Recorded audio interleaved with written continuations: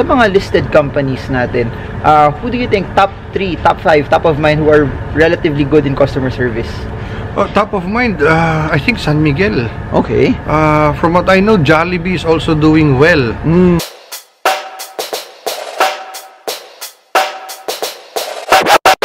Hi guys, I just finished a seminar here all about customer service and you know you know what's interesting in every business especially for those who want to be entrepreneurs for those who want to uh, grow your business people always focus on sales and marketing. But what they fail to see is a very very important aspect in the business which is customer service. And uh, we're here we're you're in for a treat. We have one of the experts here in the Philippines about customer service and how you can actually grow your business. I'd like you to I'd like to introduce you guys to Econ, yes? Hello, the guys. customer service guy. You, Customer, yeah, that's what my shirt customer says. service guy. Oh. There you go. Are you selling this shirt as well? No. Merchandise, no For merch. now, I give it away Oh, give it, he's giving it away. Yeah. How long have you been practicing customer service?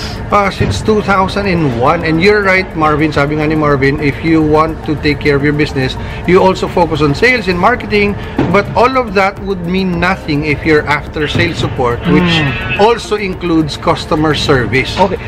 that's very important I have I got I get a lot of questions no uh, from in in my website asking me that uh, their their problem is retaining clients Mhm. and parang they're receiving poor ser uh, prob yung on the perspective of the entrepreneur parang they think the business is okay kasi they're biased on how they do it Right. but uh, what's the common problem that clients or entrepreneurs don't retain business Well, number one, like what you mentioned earlier during our talk, is that they don't invest on their people. They don't. You have to really invest on your people so that remember, just like what the the CEO and owner of uh, Virgin Records, uh, Virgin Airline, he said that your number one asset is not your customers, but it is your employees. So you have to take care of your employees, and one way of taking care of them is sending through training just like this. They can look me up for trainings that they potentially might need, or they can also get in touch with Arriva. Okay. Here's here's what's interesting. What what if for example, uh yun, ay- yung scenario na sinabi mo that uh, there's a customer that wants to uh, force his way Mhm. uh, and then pasara na yung pasara na yung shop. Pinilit niya. pinilit niya. What's what's the best way to respond to that? Well, there are two ways to respond to that. Commonly, if you're just an employee of the business, you'll say, Sir, sorry, balik na lang ho kayo bukas. Okay. Kasi employee ka. You don't really care whether the company makes money or not. The employee does not think of that. They only think of 15 and 30, their payday.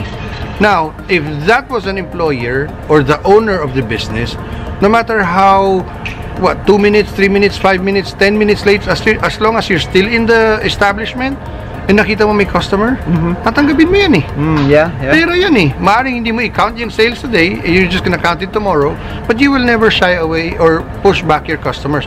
Your customers now will eventually be potentially might be your partners in the future depending on how well you build the relationship. So you don't keep them out.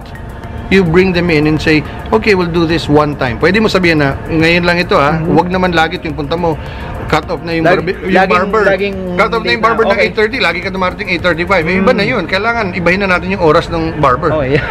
Hanggang Spec- hanggang 9 special o'clock requests na. na. Right. Here, here, paano to? Uh, what if, for example, spa or barber shop or what whatever industry na, for example, spa na pilayan after Mhm. nagpamasahe or or bar, barber na, nagkamali ng ng ahit. How Mhm. do you compensate? What's the best way to compensate clients pag ganun? Well- that at least they don't feel na or airline uh, Mm. na delay ng Ako, ng sobra or or yan. hotel booking nagkamali ng ng ng check what what's what's a good way that clients get to feel I I think loved or still uh, accepted Well, first of all, you have to first admit that you made a mistake. okay Di ba? You have to be transparent. Uh, you made a mistake. For example, you're an airline. Merong isang airline dito na very common na madalas nalilate. And then pag na-late, minsan na-cancel, they don't even give food. Di ba? You just have to, first of all, you have to apologize and you compensate a little bit. Not in a way na like typical Filipinos that you give the hand, they want the whole arm. Hindi naman yung tipong ganun, di ba? Like if it's the flight is canceled, then you put them in a hotel. mm. if barbershop medyo may nasugat you have to say you apologize and you just tell them that we'll do better next time Okay. um, in fact your next cut here is free Mm. so it's it's okay to uh, give some sort of should they add that to their budget already na uh, they're already hedging na ma- may, meron magkakamali in Sa in US, di ba, very common yan. Meron si empowered yung customer service employees. Like, for example, waiters and waitresses. Mm-hmm. In in restaurants, pag may mali dun sa order mo, "Look, there's a hair in my food. Okay. You know what? Will comp the whole meal. Kasi may budget sila Mm. on a daily basis na up to this much. Like, let's say, $100 per per waiter Okay. na pwede ka mag-comp, meaning complimentary, up to 100 lang. Eh, Sa Pilipinas, this doesn't happen. Okay, so that's that was actually my my next question eh. I've had experiences na na may buhok yung pagkain tapos yung common na sir, palitan lang namin yung yung pagkain. Inisip ko baka it came from the same pot lang so the hair is is there. Uh, is is replacing uh, the the the one you ordered with another one that's just the same uh, acceptable Ako already? hindi ko gagawin. Okay. Kung let's say I ordered coffee and it has hair in it, I'll probably get a soda.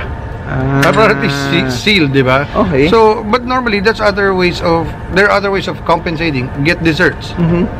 But should they is it okay and acceptable also to get a refund na lang just get the money back? Pwede Or yun. that's harder or Yeah, pwede yun. Or yung iba dito sa Philippines madalas, pwede mo bigyan ng discount at bigyan mo ng GC after. Oh, okay. So to okay. compensate more or less yung amount na ginastos nila. Okay. Bigyan mo ng GC, tapos sabihin mo next time you come back here, we'll give you 50% off. Mm. Kasi you want them to experience again, pero this time you'll do better. Okay. You admitted you made a mistake, but please give us another shot and we'll improve on our services. Interesting. Sa mga listed, I, I have a lot of people who uh, invest in the stock market here, Mhm. no, uh, that normally listen to the videos. Sa mga listed companies natin, uh, who do you think top 3, top 5, top of mind who are relatively good in customer service? Oh, top of mind, uh, I think San Miguel. Okay. Uh, from what I know, Jollibee is also doing well. Mm. Uh, I'm not so certain but I think ABS-CBN stocks are also good at the moment. Tama okay. ba? Ah, Pero yung San Miguel is- has been very stable. Although hindi siya masyado nagpa-fluctuate Okay. kasi stable lang siya. Pero top of mind, I think those are the But three that I can think of. what what makes what what do you look at when you I assume you would consult with them when you go into companies no Mhm. What what how can you say that oy pagpasok ko dito this is really a good company their customer service is am- is amazing what there are there certain things that uh, you look at just to determine na oy okay to this is good this is good this is good Siguro yung unang-una yung credibility. okay They like San Miguel has been over a hundred years already. Mm. So I don't think they'd last that long kung hindi naman sila okay kahit papano. I mean, you can't please everyone. Every now and then there'll be complaints. But I think uh, for the most parts of their existence, it will all be a thumbs up. Mm. Uh, just like Jollibee, right? Jollibee is not a perfect company, but if you look at it, everyone seems to be happy with it. Tama? Yeah, and, and Jollibee's, I, I, I keep making videos kasi with Jollibee because I, I really believe Jollibee is one of the uh, best local companies here that's expanding globally. And Right. uh, not, it's not just a customer service experience anymore, it's also the brand that, that they have that you Yes. can put Jollibee anywhere. The, the credibility is there already. Yes, I, I agree that wh- wherever it's placed, people just just follow. Right. Uh, so there. In fact, some people are even wanting to have Jollibee uh, branches open in their area. Mm. Kahit na wala pa doon. Minsan may humirit na, kunyari, taga Toronto. Okay. Sa, parang magsasabi na, sana, di ba, sana I have 2 million dollars kasi I wanna open a Jollibee or sana may Jollibee dito. Yeah. So, they're really a very reputable company and I think you can't go wrong if you go into business with Jollibee. Yeah, and I, I guess since it's a franchise, you get the customer service uh, pr- processes that they very ano, have very already. standardized. They've learned from other fast food chains Mhm. uh, abroad and local and everything they do, they have a process for everything. Okay. So very procedural sila. Last, before we put this to a close, tips for entrepreneurs that are, sy- syempre, if you're an entrepreneur, you're starting up, startup business, sometimes walang budget for Mhm. for it eh. What are the first things that they need uh, to take care of on a customer service aspect that before they have the a bigger budget, kaila at least ito bare essentials that they need to Mhm. set up first.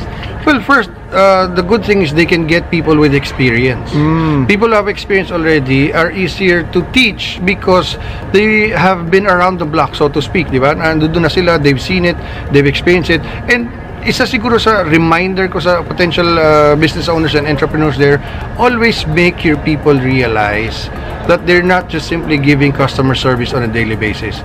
They're also receiving it on a daily basis. Pag sila na yung nagre-receive, natutuwa ba sila? Pag sinabi nilang hindi, so gawin mo yung bagay para matuwa yung taong pinagsiservisyon mo. Yun lang naman. eh. It's all about mindsets. Wow. Customer service really about mindsets.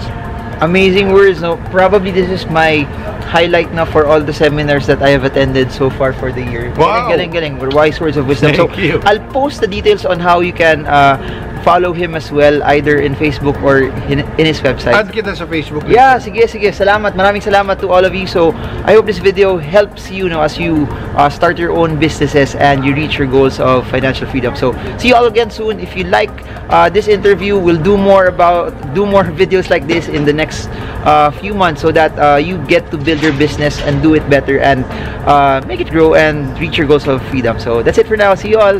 Bye-bye.